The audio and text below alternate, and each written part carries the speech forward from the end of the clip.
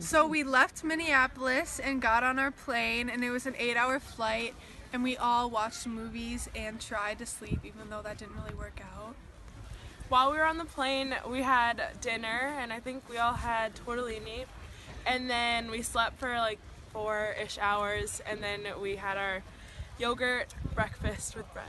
And then our first stop was the Windmill Village, which was super cool. And then we ate this delicious waffle with We also- Nutella. Oh, Sorry.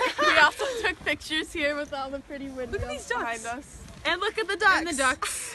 the ducks came to say hello because they speak to. I speak to them. Oh, Yay!